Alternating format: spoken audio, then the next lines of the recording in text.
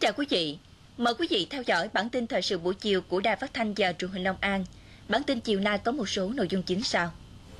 Xã Mỹ An, huyện Thủ Thừa tăng tốc thực hiện các giải pháp để đạt chuẩn xã nông thôn mới theo đúng lộ trình. Thành phố Đà Nẵng chủ động ứng phó với áp thấp nhiệt đới. Tin thế giới, Đại hội đồng Liên Hiệp Quốc phê chuẩn cựu Thủ tướng Bồ Đào Nha Antonio Guterres làm Tổng thư ký Liên Hiệp Quốc.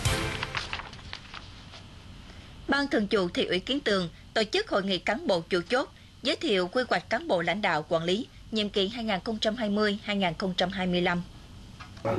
Việc tổ chức hội nghị lần này là một trong những khâu quan trọng trong việc phát hiện giới thiệu nguồn theo quy định, tạo sự chủ động trong xây dựng kế hoạch đào tạo, bồi dưỡng, sắp xếp, sử dụng cán bộ, đáp ứng yêu cầu phát triển trong giai đoạn hiện nay.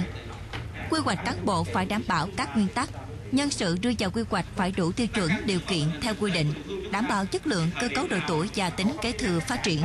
Tại hội nghị, các đại biểu còn được nghe triển khai kế hoạch xây dựng đề án, sắp xếp tinh gọn tổ chức bộ máy, nâng cao hiệu quả hoạt động của hệ thống chính trị thị xã Kiến Tường.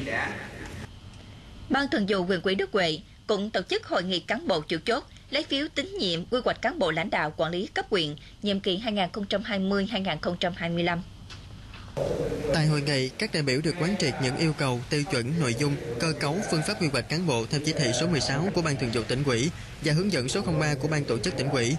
Theo đó, việc quy hoạch sẽ thực hiện theo đúng trình tự gồm 3 bước và phải đảm bảo về cơ cấu, nguồn cán bộ trẻ có đức có tài, có triển vọng và khả năng lãnh đạo quản lý. Trong đó chú trọng xem xét lựa chọn những cán bộ nổi trội về phẩm chất chính trị, phẩm chất đạo đức, tác phong làm việc phải thực sự gương mẫu, có kiến thức, năng lực thực tiễn, Sở Lao động Thương binh và Xã hội tỉnh đã có buổi làm việc với Ủy ban Nhân dân huyện Cần Đước và các xã, thị trấn trên địa bàn huyện này nhằm ra soát hướng dẫn giải quyết dứt điểm hồ sơ người có công còn tồn động trên địa bàn huyện.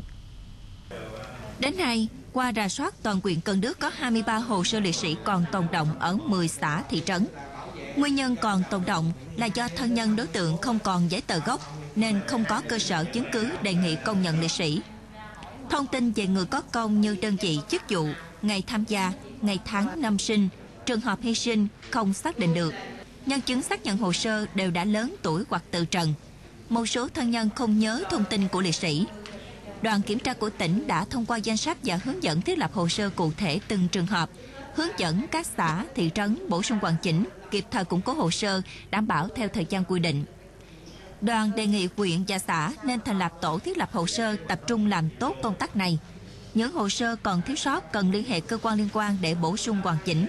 Quá trình xác hồ sơ đảm bảo chắc từng khâu, trường hợp nào được hay không được, hội đồng xác nhận hồ sơ người có công phải có kết luận cụ thể và trả lời cho người dân biết, đảm bảo quy trình thực hiện và hoàn thành trước ngày 30 tháng 10 năm 2016. Quyền quỹ, Hội đồng Nhân dân, Ủy ban Nhân dân, Ủy ban Mặt trận Tổ quốc Việt Nam, quyền Vĩnh Hưng tổ chức họp mặt nhân kỷ niệm 12 năm Ngày Doanh nhân Việt Nam 13 tháng 10 nhằm gặp gỡ tôn vinh những doanh nhân doanh nghiệp trên địa bàn quyện đã góp phần vào sự phát triển kinh tế xã hội của địa phương trong thời gian qua. Hiện nay, trên địa bàn huyện Vĩnh Hưng có 79 doanh nghiệp tư nhân, công ty trách nhiệm hữu hạn đang hoạt động. Doanh thu của các đơn vị doanh nghiệp trong năm 2016 đạt hơn 320 tỷ đồng, bằng 150% so với cùng kỳ năm 2015. Nộp ngân sách nhà nước hơn 30 tỷ đồng tính đến tháng 9 2016. Ngoài hoạt động sản xuất kinh doanh, các doanh nghiệp còn tham gia tích cực vào các hoạt động xã hội tại địa phương như ủng hộ xây dựng nhà tình nghĩa tình thương, quỹ khuyến học, xây dựng cầu giao thông nông thôn, cùng địa phương thực hiện mục tiêu phát triển kinh tế xã hội tại địa phương.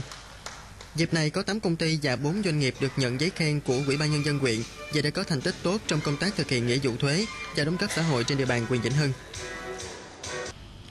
Tại Trung tâm Hoạt động Thanh thiếu niên tỉnh Long An, Ủy ban Hội Liên hiệp Thanh niên Việt Nam tỉnh Long An tổ chức khai mạc hội trại huấn luyện Nguyễn Chí Thanh, tỉnh Long An lần nhất năm 2016.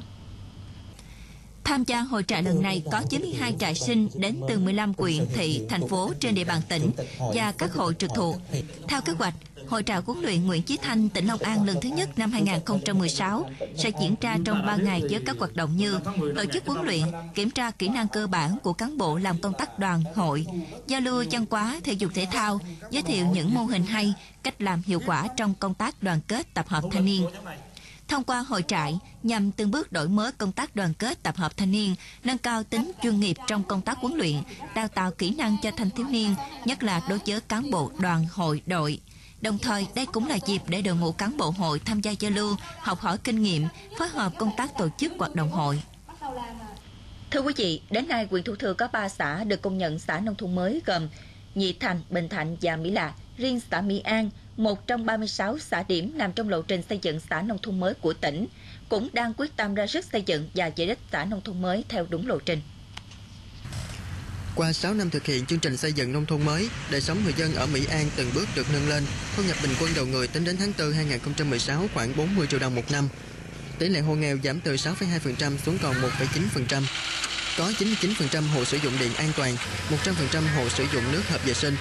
Các cơ sở trường học được quan tâm đầu tư đạt chuẩn quốc gia theo quy định. An ninh chính trị, trật tự an toàn xã hội được giữ vững. Trong giai đoạn 2011-2015, xã Mỹ An đã thực hiện 20 công trình giao thông thủy lợi với tổng kinh phí gần 20,5 tỷ đồng. Trong đó vốn dân đóng góp gần 2,5 tỷ đồng. Hiện nay, xã Mỹ An đã hoàn thành 14 trên 19 tiêu chí xây dựng nông thôn mới, trong đó có 5 tiêu chí chưa đạt là giao thông, cơ sở vật chất văn hóa, chợ nông thôn, y tế và môi trường. Sau khi mà các cái tiêu chí ờ, chưa đạt á, thì ờ, đứng về góc độ địa phương thì cũng có ờ, kiến nghị bây giờ ở huyện cũng có cái giúp cho địa phương về cái giao thông Dạ giao thông thì bây giờ cũng có cái nghiên cứu xem lại coi. Bây giờ các cái công trình công trình đã xây dựng rồi đó, chưa đạt thì giờ chúng ta cũng có cái khảo sát để giúp địa phương trong cái thời gian tới để đạt. Cái à, tiêu chí chợ thì giờ ừ, cũng kiến nghị ừ, trên có cái là ừ, khảo sát cái điểm để mà xây dựng cái chợ, làm sao cho đảm bảo theo cái quy hoạch. Tập trung à, với cái quyết tâm cao nhất à, và mục đích là làm sao à, thực chất cái các tiêu chí à, đạt thì mới được công nhận. À, không chạy theo thành tích không vì cái à, số số lượng à, mà phải à, à, cái chất lượng của từng tiêu chí à, còn những cái mặt hạn chế. À, chính vì thế thì ban chỉ đạo chương trình xây dựng nông thôn mới huyện chúng tôi à, trong à, những tháng còn lại của năm 2016 chúng tôi quyết tâm à, là thực hiện cái giúp cho cái địa phương cái xã Mỹ An cố gắng là hoàn thành là 19 tiêu chí Tin rằng cùng với sự đồng tình của người dân, sự quan tâm lãnh đạo, chỉ đạo, hỗ trợ của các ngành các cấp, xã Mỹ An sẽ sớm hoàn thành 19 trên 19 tiêu chí xây dựng nông thôn mới, góp phần cùng quyền thủ thừa thực hiện chương trình mục tiêu quốc gia về xây dựng nông thôn mới theo đúng lộ trình đề ra.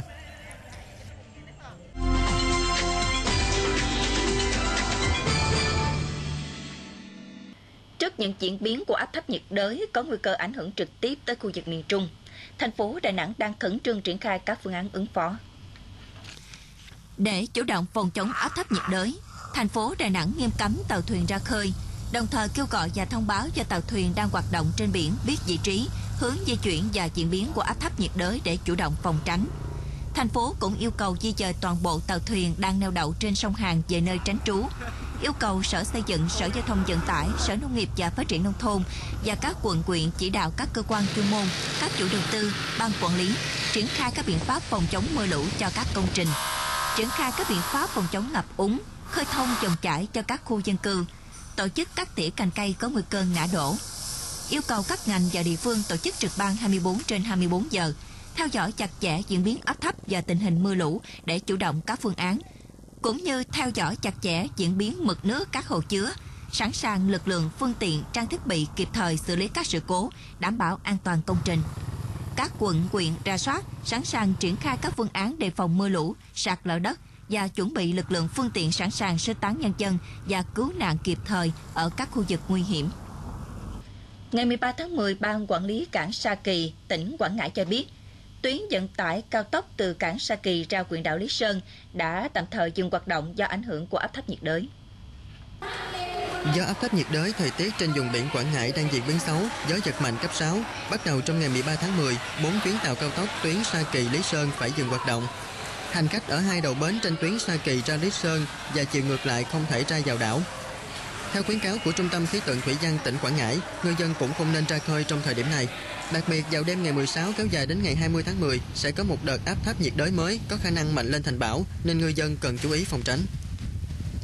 Sáng ngày 13 tháng 10, chính quyền và người dân xã Phú Riềng, huyện Phú Riềng, tỉnh Bình Phước đã tìm thấy thi thể nữ sinh bị lũ cuốn trôi tại thôn Phú Dinh, xã Phú Riềng. Cơ quan chức năng xác định nạn nhân là em Phan Quyền Bảo Trâm, 16 tuổi, thôn Phú Vinh, xã Phú Riềng. Hiện đang là học sinh lớp 11 trường Trung học phổ thông Phú Riềng. Trước đó khoảng 19 giờ ngày 12 tháng 10, Em Trâm dùng xe máy chở bà nội về nhà rồi quay trở lại. Nhưng sau đó hơn 20 giờ, gia đình không thấy con về. Sau hơn một giờ tìm kiếm, đến 21 giờ, người nhà phát hiện chiếc xe máy bị nước lũ cuốn dưới mương, cách ngã rẽ vào nhà bà nội Bảo Trâm khoảng 200 mét. Do trời mưa to từ 18 giờ nên nước lũ chảy thành dòng lớn và xiết, khiến công tác tìm kiếm gặp khó khăn. Mãi đến 6 giờ sáng ngày 13 tháng 10, lực lượng tìm kiếm mới phát hiện thi thể Bảo Trâm nằm dưới hồ, cách nơi bị nạn gần 1 km. Nguyên nhân được xác định là do trời mưa to. Nước từ các giường cao su lân cận dồn xuống quá lớn, nên khi chạy xe máy qua ngã tư đường thuộc thôn Phú Vinh, em Trâm đã té ngã và bị nước cuốn trôi. Chính quyền địa phương xã Phú Riềng đã cử cán bộ thăm hỏi, động viên, chia buồn cùng gia đình.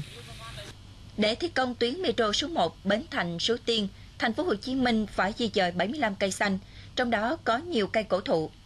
Để đảm bảo giữ được những cây xanh lâu năm, công tác bứng dưỡng đã được thực hiện chu đáo. Công tác bứng cây được các nhân viên công ty công viên cây xanh của thành phố thực hiện rất thận trọng nhằm đảm bảo cây có thể tiếp tục phát triển sau khi di dời. Đây là những cây xanh đều có tuổi đời trên 10 năm, đường kính khoảng 0,4 m, cao 20 đến 30 m, gồm nhiều chủng loại. Chúng tôi tiến hành bứng, à, cố gắng giữ được cái bộ rễ lớn nhất có thể. Sau đó là à, được à, vận chuyển về công viên gia đình và công viên Gò Vấp để à, trồng lại. Thì trong quá trình à, trồng lại thì à, công ty công viên xanh có cái chế độ chăm sóc à, bao gồm những thuốc à, tăng trưởng rồi à, giữ nước rồi bó à, chống cành để chống nghiêng đổ Đến chiều 13 tháng 10, các công nhân đã thực hiện bứng được 27 cây xanh. Toàn số cây xanh sau khi bứng sẽ được chuyển đến địa điểm nuôi dưỡng. Số cây xanh bị đốn hạ sẽ được bàn giao cho khu quản lý giao thông đô thị số 1 thuộc Sở Giao thông Vận tải thành phố Hồ Chí Minh là phương án tái sử dụng gỗ để phục vụ các công trình công cộng trên địa bàn. Mưa lớn vào chiều tối ngày 13 tháng 10 đã khiến nhiều tuyến đường tại khu vực trung tâm thành phố Hồ Chí Minh bị ùn tắc kéo dài. Đặc biệt tại đường Mạc Đỉnh Chiêu, quận Nhất, một cây xanh có đường kính lớn bất ngờ bật gốc, giao thông qua khu vực bị phong tỏa, gây nên tình trạng kẹt xe ở các tuyến đường xung quanh. Cơn mưa lớn vào giờ cao điểm chiều tối qua đã khiến nhiều tuyến đường ở trung tâm thành phố Nam Kỳ khởi nghĩa, Điện Biên Phủ, Nguyễn Công Trứ, Nguyễn Chu bị ùn tắc. Trong đó tại góc đường Mạc Đỉnh Chi, Nguyễn Chu thuộc quận Nhất, một cây xanh có đường kính lớn bị bật gốc, đổ nghiêng 45 độ. May mắn là trong quá trình gãy đổ, thân cây chướng vào đường dây điện và đè vào một cây cổ thụ khác nên không đổ xuống dòng người đang lưu thông trên đường. Để đảm bảo an toàn giao thông cho người đi đường, lực lượng chức năng đã phong tỏa tuyến đường Mạc Đỉnh Chi, đoạn từ đường Nguyễn Chu đến đường Lê Duẩn để cắt cây cổ thụ. Đến 20 giờ, lực lượng chức năng vẫn đang khẩn trương khắc phục sự cố.